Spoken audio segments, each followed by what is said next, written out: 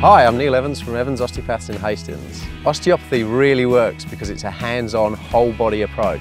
Our appointments usually last between 30 and 45 minutes and we treat a variety of problems, not just back pain. And it's really important for us to get to the root cause of your problem.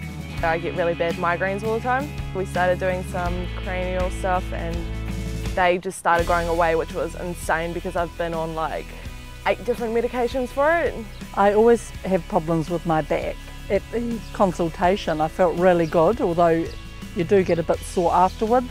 But then within a day it was so much more improved, it was a lot easier. I've got cerebral palsy and so for me um, I've got a constant battle against um, tightness, especially in my legs.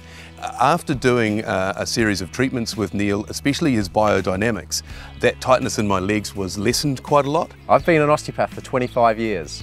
My clinic treats babies right through to the elderly. Our team of three osteopaths, both male and female, use structural and cranial osteopathy. In particular, a type of cranial called biodynamics. I hadn't really heard of it before and um, it's certainly an alternative treatment but one that um, is certainly having some really good benefits for me. The migraines would stop and then they'd come back but it would get longer, the periods of not having migraines and so after time it just, they just went away. Oh, I'd always recommend Neil. Not only is he a great osteopath but the hours suit as well so it's easy to get in and you'd be surprised what they, what they do.